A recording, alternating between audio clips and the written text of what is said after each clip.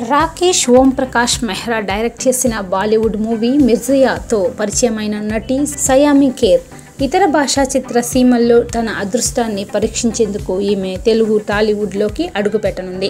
గత ఏడాది తన మరాఠీ మూవీతో ప్రేక్షకుల హృదయాల్ని గెలుచుకున్న ఆమె దక్షిణాది సూపర్ స్టార్ నాగార్జునతో నటించే ఛాన్స్ను దక్కించుకుంది.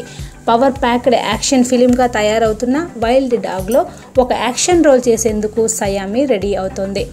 యథార్థ ఘటనల స్ఫూర్తితో రాసిన కథతో అహిషోర్ సాల్మన్ డైరెక్ట్ చేస్తున్న వైల్డ్ డాగ్ సినిమాలో ఎన్ఐఏ ఆఫీసర్గా నాగార్జున కనిపిస్తున్నారు. సయామి రా ఏజెంట్ పాత్రలో కనిపిస్తోంది. ఆమెపై కొన్ని ఐ యాక్ట్ అండ్ యాక్షన్ సీన్లు ఉంటాయని చిత్ర బృందం తెలిపింది. దీనికోసం ఆమె ముంబైలో శిక్షణ కూడా తీసుకుంటోంది. ఇప్పటికే షెడ్యూల్ పూర్తయిన ఈ సినిమా తదుపరి షెడ్యూల్లో సయామి పాల్గొనబోతుంది. ఈ సందర్భంగా సయామి మాట్లాడుతూ ఈ ప్రెస్టీజియస్ ప్రాజెక్ట్లో భాగం అవుతున్నందుకు చాలా సంతోషంగా ఉంది. నాగార్జున గారితో కలిసి పనిచేసే అవకాశం రావడం నాకు లభించిన గౌరవం. యాక్షన్ ఫిల్మ్ చేయాలన్నది ఎప్పటి నుంచో నా కోరిక. ఎందుకంటే ఆ జానర్ సినిమాలను నేను ఇష్టపడతాను. కొన్ని రోజులుగా మిక్స్డ్ మార్షల్ ఆర్ట్స్ ట్రైనింగ్ తీసుకుంటున్నా.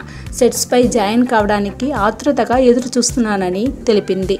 Hollywood blockbuster fast and furious సెవెన్కు పనిచేసిన డేవిడ్ ఇస్మాలోన్ వైల్డ్ డాగ్కు యాక్షన్ డైరెక్టర్గా పనిచేయడం విశేషం. అంటే తెలుగు తెరపై ఇంతదాకా మనం చూడని యాక్షన్ సన్నివేశాల్ని ఈ సినిమాలో చూడబోతున్నామని చెప్పవచ్చు. నిరంజన్ రెడ్డి అన్వేష్ రెడ్డి సంయుక్తంగా నిర్మిస్తున్న వైల్డ్ డాగ్ మూవీకి కిరణ్ కుమార్ సంభాషణలు రాస్తుండగా షానిల్ డియో సినిమాటోగ్రఫర్గా పనిచేస్తున్నారు. మ్యాట్ని ఎంటర్టైన్మెంట్ అధినేతలు ఈ సినిమా గురించి మాట్లాడుతూ ఈ చిత్రంలో సయామి నటిస్తున్నందుకు హ్యాపీగా ఉందన్నారు. తనకు సరిగ్గా సరిపోయే పాత్రలో ఈమె కనిపిస్తుందని చెప్పుకొచ్చారు.